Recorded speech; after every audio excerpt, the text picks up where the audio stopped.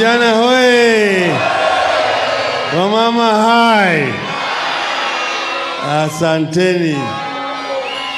Andi wa mlima Muriega, Muriega ringi, dai ya Kikuyu dai, dai dai.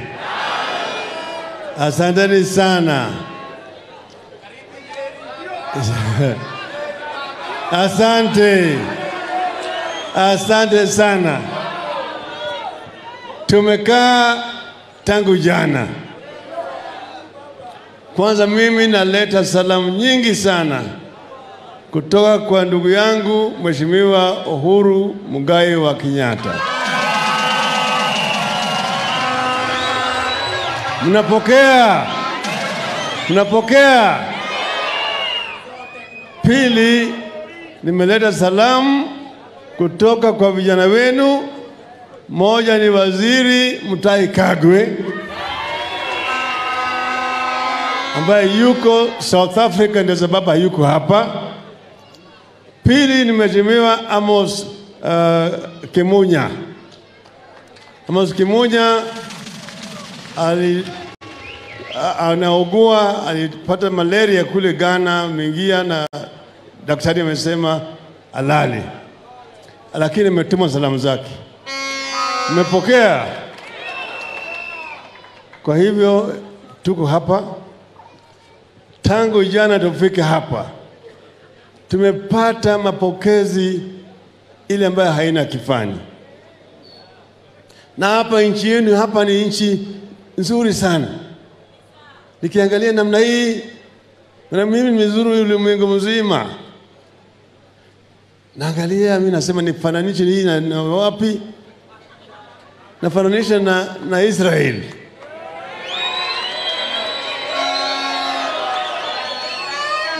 Nikiangalia pande ile naona mlima Hamon, pande ile ingine nikaona naona mlima Sinai, kiingia pande ile ingine naona mlima Hebron. Sasa, eh, iko wapi namna gani? Tuko hapa Israel, hapa nyinyi hapa. Hii Nyeri pale tumekutana na hao viongozi kutoka mlima Kenya wote, ni pale ambaye mashujaa wa Kenya wametoka hapa wengi. Wakati walikuwa napigana na mzungu, kulikuwa hapa General Madhenge, General didan Kimathi, Field Marshal Mudhoni wa, wa, wa Kirima, mama ambaye nimetoka hapa. Na vile vile Ndung'u wa Gasheru ametoka hapa. Hapa. Vile vile ndio, ndio nyumbani ya Wangari Madhai, mama ya kwanza kupata nishani ya Nobel katika taifa letu la Kenya kwa sababu ya kuhifadhi mazingira. Hapa vile vile ndio nyumbani kwa Mwai wa Kibaki ambaye amekuwa rais wetu wa tatu. Kwa hivyo hapa tumekuja kwa nchi ya washujaa, pale washujaa wa taifa letu wametoka, na tumekutana na viongozi kutoka mlima hapa. Jana tulikuwa na viongozi kutoka kule mziwani, tulikuwa na wazee, wakina mama walikuja hapa kukutana na wazee na wakina mama wa milima hapa, walikuwa wanarudisha mkono. Manake mwaka mbili iliyopita milima ilikwenda kuwa- kuwatembelea huko ziwani, walikuja na bidhaa zao, naona wameleta samaki mingi kutoka ziwani, wakaleta hata samuli ya kupika naye na mambo mingi zaidi. Hii inanyesha urafiki, inanyesha urafiki mnaona wabunge wengi wamekuja hapa, hawa walikuwa katika hiyo delegation na wakalala hapa, wakaniambia mimi wali kulala walifanya fanya, fa- fa- fanya burudani mpaka che. Walikaa wali- wali- walilishwa, walikula, wakanyweshwa, wakasikia wakasikia vizuri sana. Wengine wameniambia mimi sasa wanataka wawe wadhoniwa hapa, ili nibaki ni wasichana peke yake, wachukue naye wapeleke kule ziwani. Mtawapatia wasichana, mtawapatia wasichana. Sasa jana tuliongea na wazee na wakina mama, baadaye tukaenda tukaongea na vijana, vijana wa mlima, nao vilevile walikohoa. Tena nikaenda nikakutana na vijana wa Nyeri peke yao, mahali ingine tena. Kwa hivyo sasa mimi najua yale ambayo iko hapa. Tumeongea juu ya mambo ya kilimo hapa, vile tunaweza kuboresha kilimo hapa, kilimo ya miwa, ya kahawa, ya, ya chai, ya mboga, ya viazi, ya mchele na kadhalika. Tunajua ki, ili kiini ambayo analeta ugonjwa na tuna tiba. Tumeongea vile vile juu ya mambo ya viwanda, a viwanda ambayo tunataka kuunda ambayo zinaweza kusaidia kufanya kile kitu kwa kizungu inaitwa value addition, na tumeongea juu ya one sub county au one constituency one product. Tumeelewana namna hiyo. Vile vile tumeongea vile tunaweza kuimarisha mambo ya muundo msingi infrastructure, barabara. Manake mimi nilikuwa waziri wa barabara na ujenzi, najua barabara yote katika eneo hii yote vile hali yao hiko kuboresha, kuchukua pale Uhuru anawacha atawacha hiyo kazi iendelee. Niwaambia ati hii barabara ya Thika, Nairobi, Thika mpaka Kenol, kutoka Kenol mpaka hapa Marua, mimi ndio nilichora.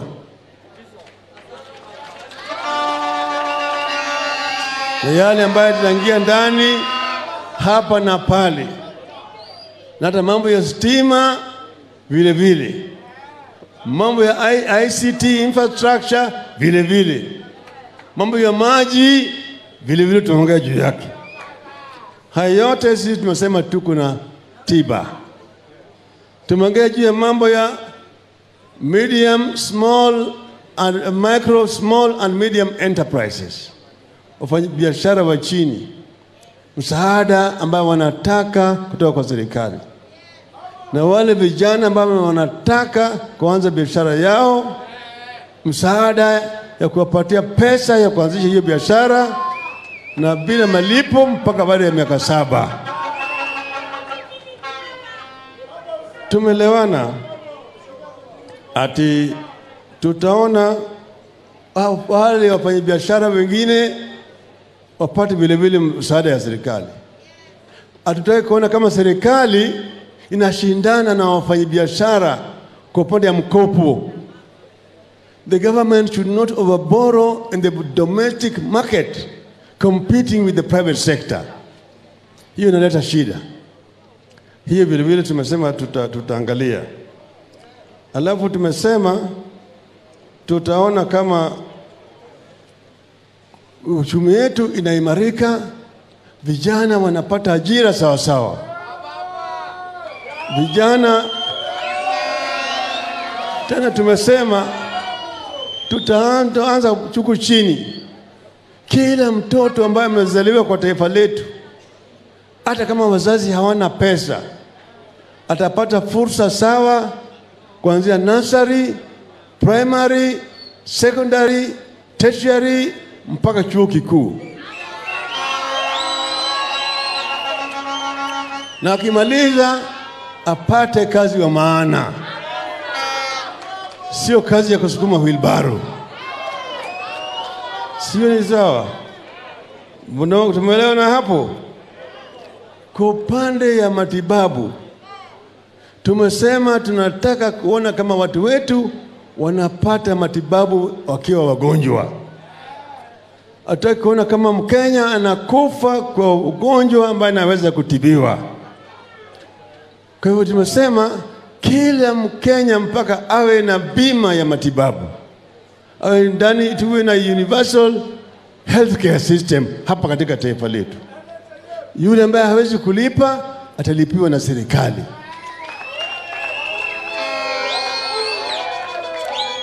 Kwa upande mwingine tumesema ati kwa sababu ya hali ya uchumi wetu ambayo tunataka kuimarisha, tumesema tunataka kuona kama uchumi wetu inapanuka kwa asilimia kumi na zaidi kila mwaka mpaka baada ya miaka kumi na tano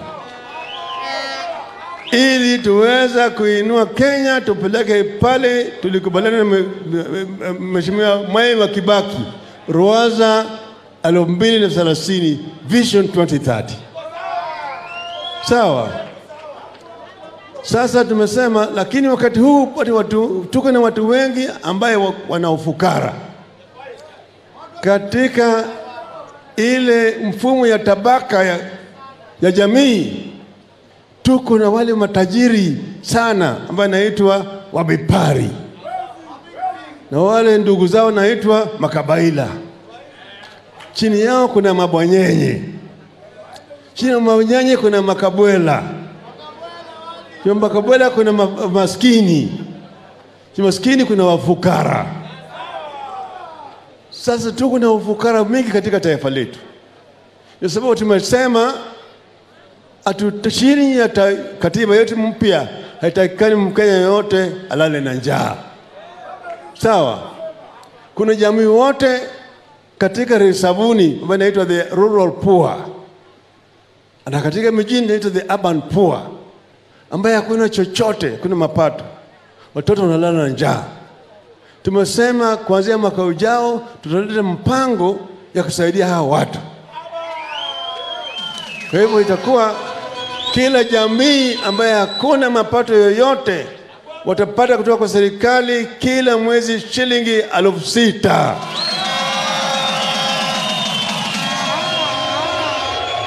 Hao wanasema wanasema ati oh, baba anadanganya, hiyo ni porojo. Hapana, baba hadanganyi. Baba ameshakuwa waziri mkuu wa jamhuri ya taifa la Kenya. Najua pale pesa iko sawa sawa sawa, pale ambayo jamaa wanatoa hiyo pesa sawa. Na kabla sijaenda huko, nitarudi hapa kwa dakika chache. Mimi na ndugu yangu Uhuru Kenyatta, baada ya mambo kwenda mrama, Uhuru ameapishwa pande hii kule Kasarani na baba ameapisha kule Uhuru Park.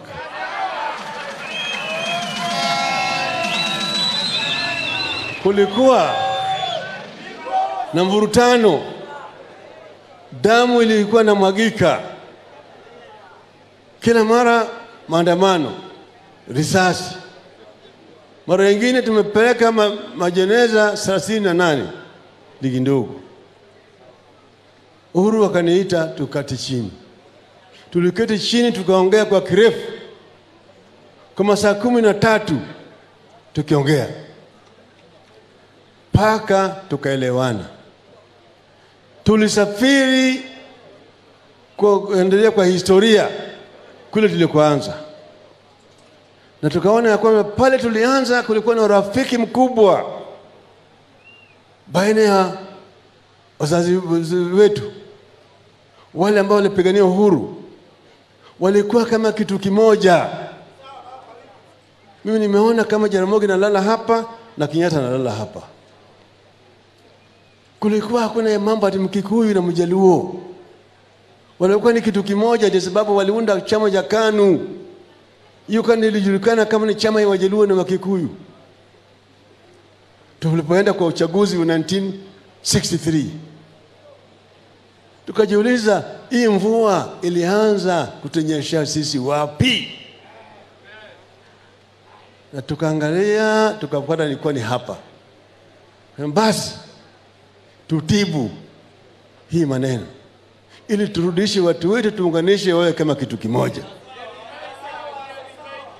Tukiponesha hii udon, kidonda, Kenya itakuwa imepona.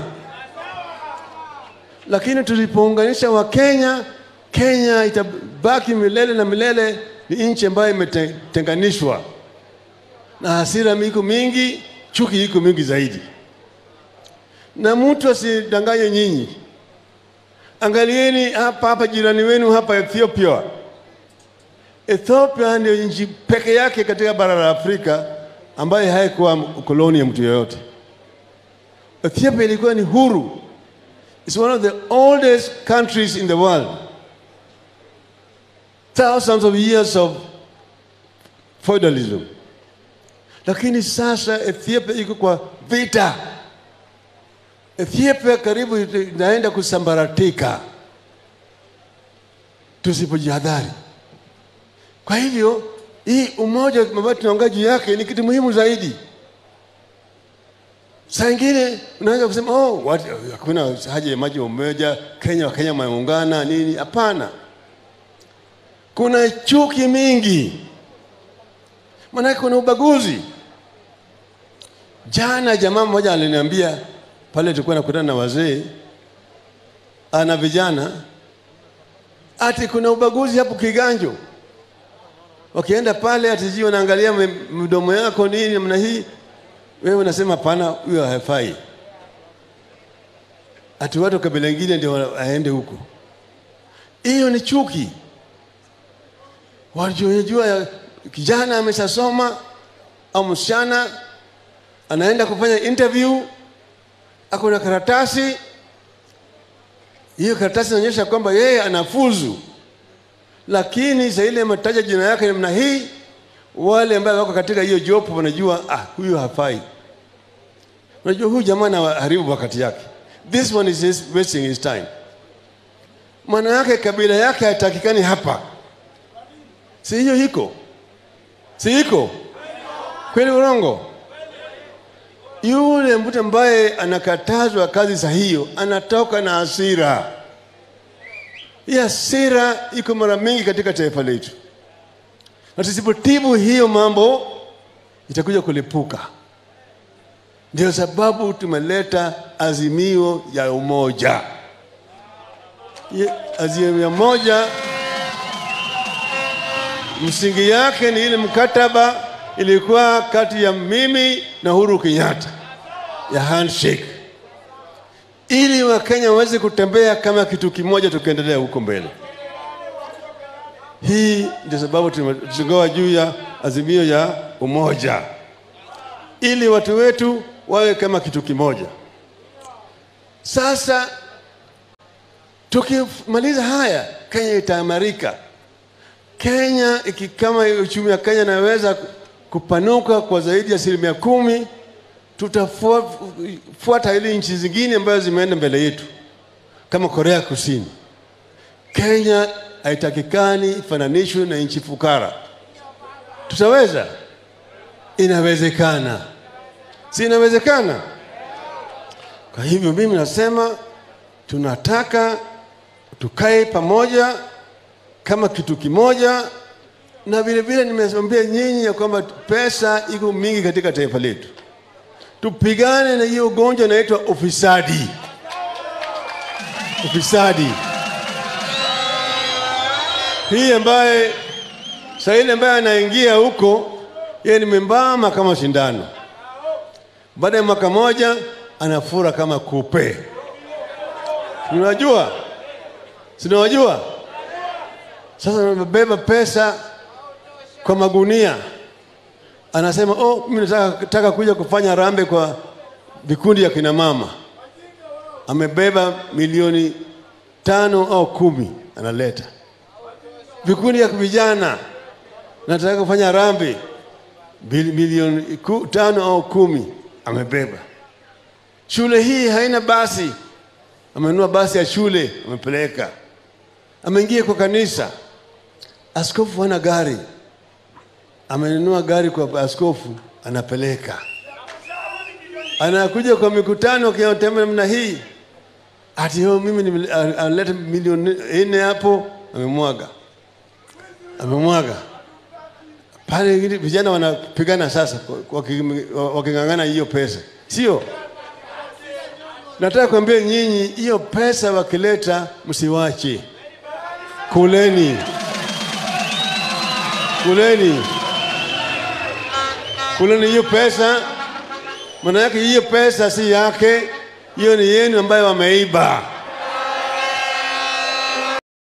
Kwa hivyo usise- usiseme asante, usiseme asante. Sasa ile umechukua, hapana, sema asante, chukua tu, mumbee tena, kesho urudi ulete ingine.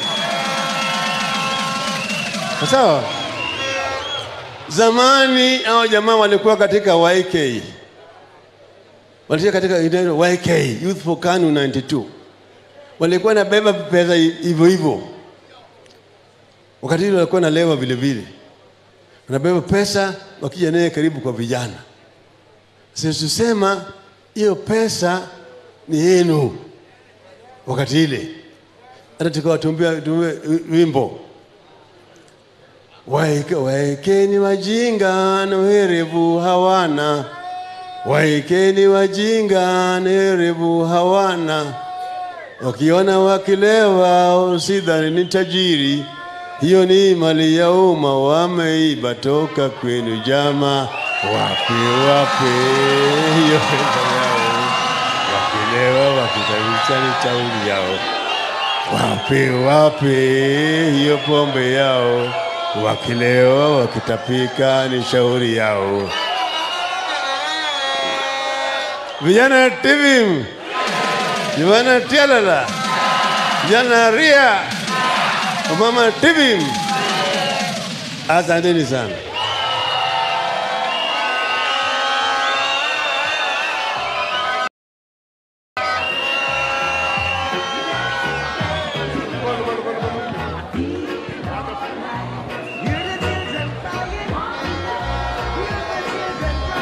Wananchi wapendwa, niombe sote tusalie pahali tuko, tumalize mkutano rasmi, na njia rasmi ni kuwaruhusu viongozi kuondoka.